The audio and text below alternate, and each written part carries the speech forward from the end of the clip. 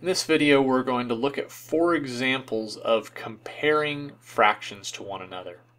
So in each of these cases we're going to want to know whether the first fraction is less than, greater than, or equal to the second fraction.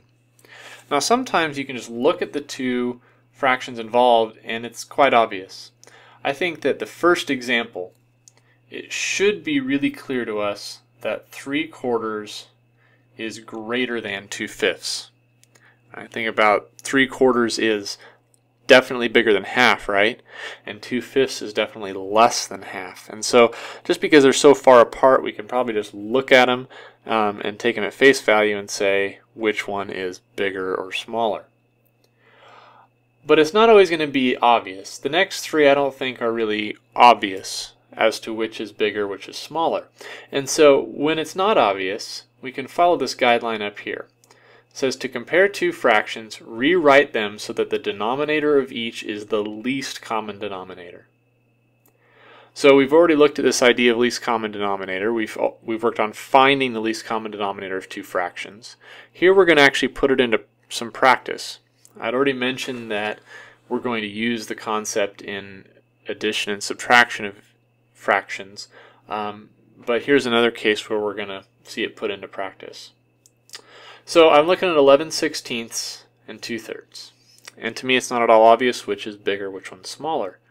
So um, let's remember uh, uh, one of our tricks for finding the least common denominator is if you notice that both numbers, um, or I should say each number has nothing in common with the other number besides 1. In other words, there's no greatest common factor um, besides 1 then all we have to do to find the least common denominator is to take the product of those two. So we just take 16 times 3, just multiply them. When we do that, we get 48. So what I know now is that I want to rewrite 11 sixteenths so it has a 48 on the bottom. I want to write rewrite 2 thirds so it has a 48 on the bottom. All right. So then we have to think about, okay, how did I go from 16 to 48? Well, because of the fact that we made 48 by taking 16 times 3, it should be obvious that we multiply the top and bottom of this fraction by 3 to make it have a 48 on the bottom. So 11 times 3 is 33, so this becomes the fraction 33 48ths. And then we do the same thing with 2 thirds. Since I multiplied 3 by 16 to make 48, I'm going to have to multiply the top and bottom of this by 16. And 2 times 16 is 32. So at this point, it should be obvious that 33 48ths is bigger than 32 48ths. Since the denominators are the same, all you have to do is compare the tops. And so because the first fraction is greater than the second, uh, when they have the same denominator way up here, 11 sixteenths is greater than 2 thirds. Let's move to the next one. So 10 and 15 definitely share a common factor of 5, so let's go ahead and um, either prime factor or make a list of the larger multiple and let's let's go with that second method here so we ask the question, does 10 go into 15? And the answer is no, uh, not evenly. And so we look at 15 times 2, which is 30. Does 10 go into 30? You bet. So we understand that 30 is the LCD. And so I need to rewrite 7 tenths, so it has a 30 on bottom. I need to write, rewrite 11 fifteenths, so it has a 30 on bottom. And so uh, we say, what do I have to do to 10 to make it into 30? Well, of course, multiply it by 3. So if you multiply the bottom by 3, you better multiply the top by 3. So I get uh, 21 thirtieths for the fraction on the left. We do the same thing with 11 fifteenths. Uh, 15 times 2 would make 30, so I better multiply the 11 by 2.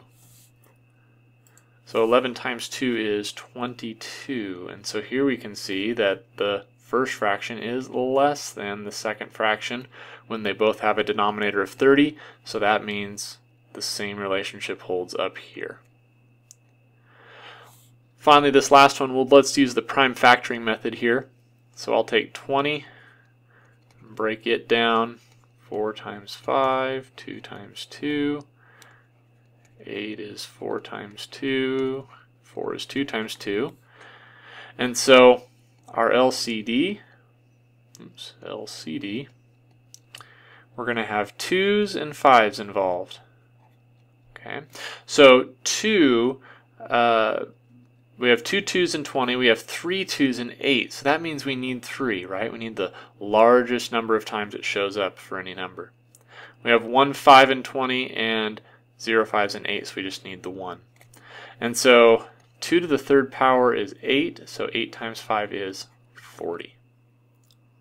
So when we go to figure out how much uh, to multiply each number by, um, it should be pretty clear in this one, but I'll show you a little trick. So first of all, we understand that 2 times 20 is 40, so I'm going to multiply top and bottom by 2.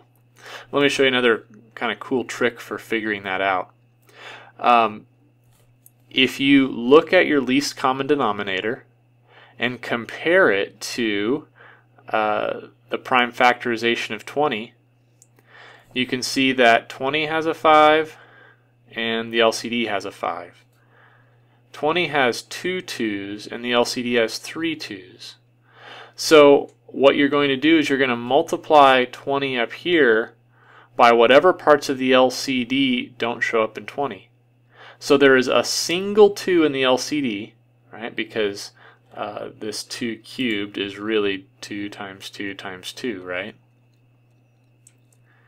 So you're going to multiply 20 by the part of the LCD that is not also in 20. So right, we've used that, we've used that, we've used the 5, so this lone 2 is the only one we haven't used, so we multiply top and bottom by 2. You can do the same thing with the 8. Now, using your multiplication facts, hopefully you just know you're going to multiply by 5, but how do you really know that? Well, the LCD has three 2's and a 5. All three of the 2's you can find in the 8. What is the 8 missing? It's missing the 5, and so that's why I multiply top and bottom by 5. So it's just another way of getting at the same thing of um, figuring out that either you could take the LCD of 40 and divide it by each denominator, and that's what you multiply by, or you can do that neat little trick I just showed. But at any rate, we understand that each of these fractions need to have a 40 on bottom. 13 times 2 is 26. 5 times 5 is 25. So it's clear that the fraction on the left is greater than the fraction on the right. So up here, 13 twentieths is greater than 5 eighths.